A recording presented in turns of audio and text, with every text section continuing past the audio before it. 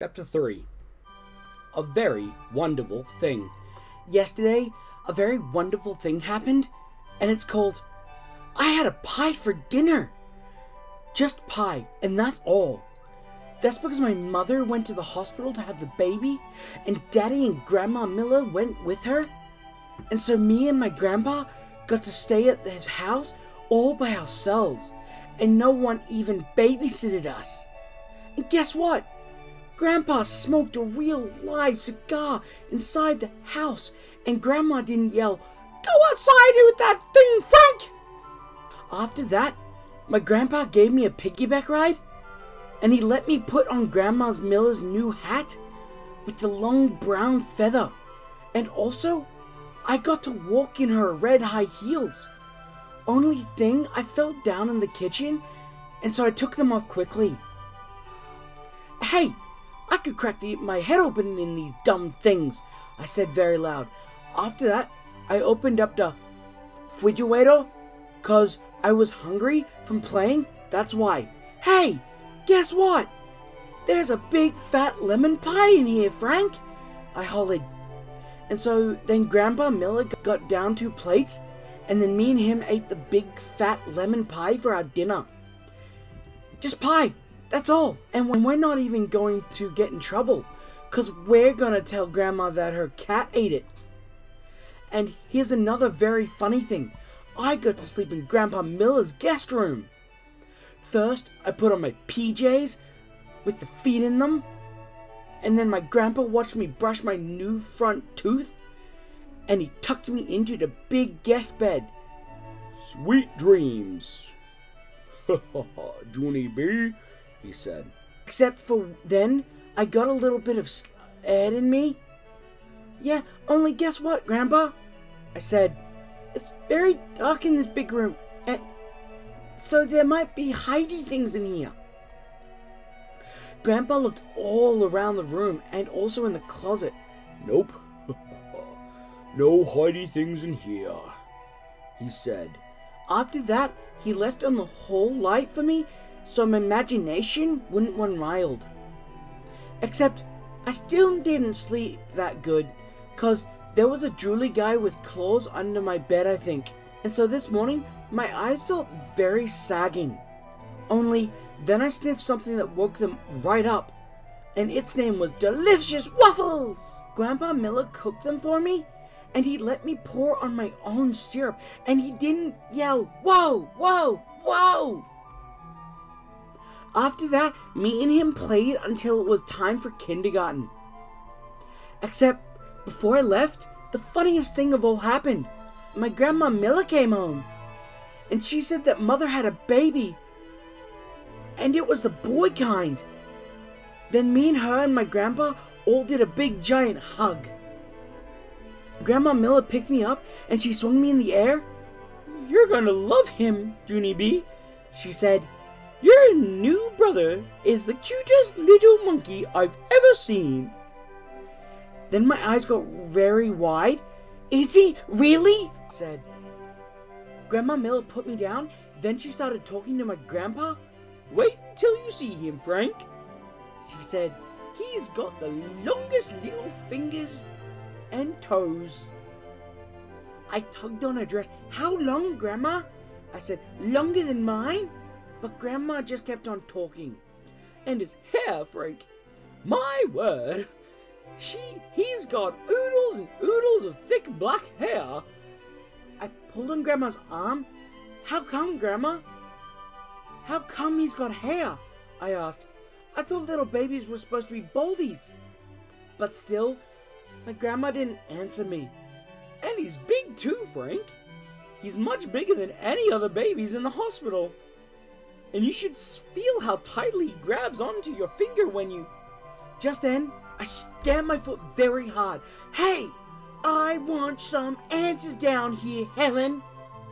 He's my baby too, you know. Grandma Miller frowned at me. Cause I'm not supposed to call her Helen, I think. Sorry. I said kind of quiet.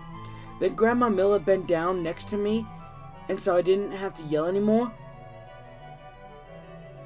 Are you telling me the truth, Grandma? I said, Is my brother really the cutest little monkey you've ever seen? For really and honest and truly? Then my Grandma Miller hugged me very tight. Yes, little girl, she whispered in my ear, for really and honest and truly.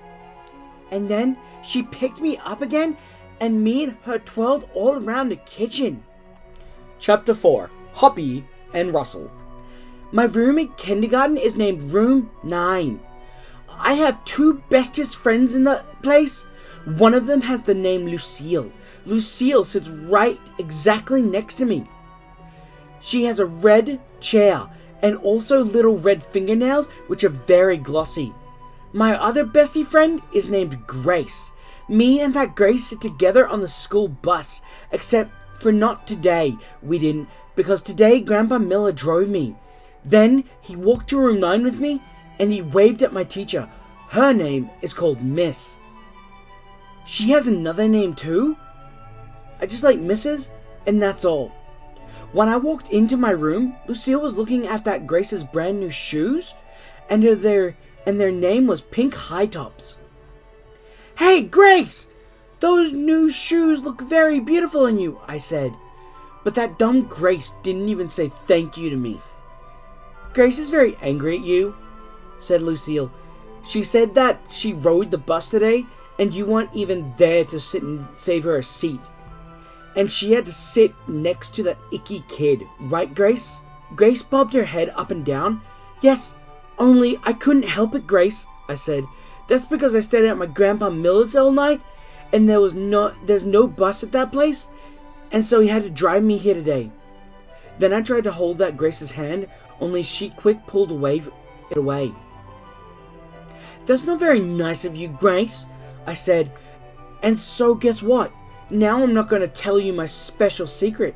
That's when the Grace called me a poopy head. Lucille held my hand. I don't think you're a poopy head, Junie B. She said, and so you can tell me your special secret, and I won't tell anybody, not even Grace. That's when that Grace kicked Lucille in the leg. And so Lucille pushed her down, and Mrs. had to come pull them off each other. I raised my hand very polite, and so Lucille pushed her down, and Mrs. had to come pull them off each other. I raised my hand very polite. I wasn't involved, I said to Mrs. After that, we had to sit down and do some work. It was called printing on numbers, only I couldn't do mine that good because Lucille kept on talking to me. That's why. Come on, Junie B, she said to me in her whispery voice. Tell me your special secret. I won't tell, I promise.